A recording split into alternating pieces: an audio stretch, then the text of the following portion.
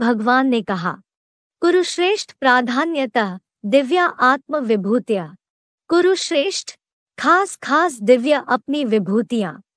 ते हंत कथेश्यामी तुझे अनुकंपार्थ कहूँगा। ही में विस्तरस्य अंतः न अस्ति। क्योंकि मेरे विस्तार वाले का अंत नहीं है। कुरुश्रेष्ठ प्राधान्यतः दिव्या आत्मविभूतिया। ते हंत कथेश्यामी में विस्तरस्य अंतः न अस्ति। भावात, हे मेरे मुकर्र रथी कुरुश्रेष्ठ, पहले किसी को न बताई गई ये खास खास दिव्य अपनी विभूतियाँ, गहराई से ज्ञानार्जनार्थ उत्कंठित तुझे अनुकंपार्थ कहूँगा, क्योंकि वटवृक्ष के बीज रूप मेरे विस्तार वाले महादेव अर्थात आदम का अंत नहीं है। जो प्यासे हैं, असल में प्यासे हैं। जो दूसरे धर्म वाले हैं वो ज्ञान के उतने प्यासे नहीं है। चंद्रवंशी भी उतने ज्ञान के प्या, प्यासे नहीं है। सबसे जास्ती प्यासे वो हैं जिन्होंने पूरे चौरासी जन्म लिए बहुत दुखी हुए हैं। ज़्यादा पुराने तम प्रधान होने के कारण। ये सारी मनुष्य सृष्टि।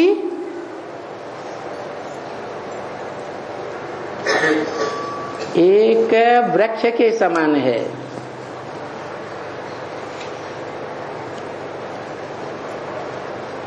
जिस कल्प वृक्ष कहो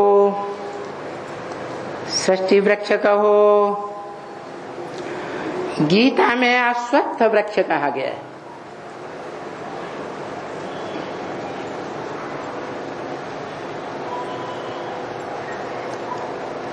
वट वृक्ष भी कहा।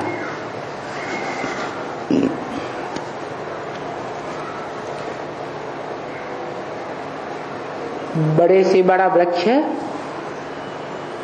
बड़ा का वृक्ष ही होता है। और उसका बीज अति सूक्ष्म होता है।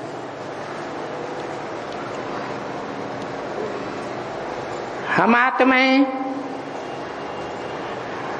अपने शरीर रूपी वृक्ष के बीज हैं, चैतन्य बीज। परंतु सारी मनुष्य सृष्टि का बीज भी तो कोई होगा? होगा या नहीं होगा? तो सारी मनुष्य सृष्टि का जो बीज है, जो इस सृष्टि पर सदा कायम रहता है उसका भारतीय शास्त्रों में गायन है। क्योंकि बीज को बाप कहा जाता है।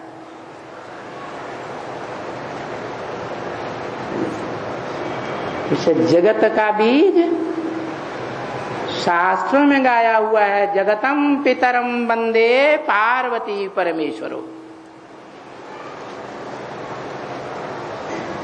सारी जगत के पिता शंकर को माना जाता है। इसीलिए एक महादेव शंकर का ही नाम है, जो निराकार शिव के साथ जोड़ा जाता है। सदा शिव के साथ जोड़ा जाता है। वो अनंत है। अनादि है। उसका ना अंत है, ना आदि है। शास्त्रों में दिखाया गया। लिंग का आदि और अंत पहचानो।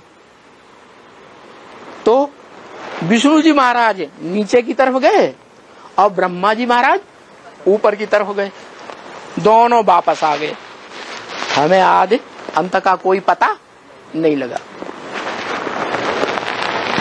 तो उसके आदि अंत का कोई को पता नहीं। जैसे परिवार में बाप होता है होता है ना? बाप बीज होता है ना? उस बीज में से सारा परिवार तैयार हुआ ना? है? माँ से लेकर के छोटे से छोटा जो बच्चा है, वो भी उस बाप से ही निकला ना? है?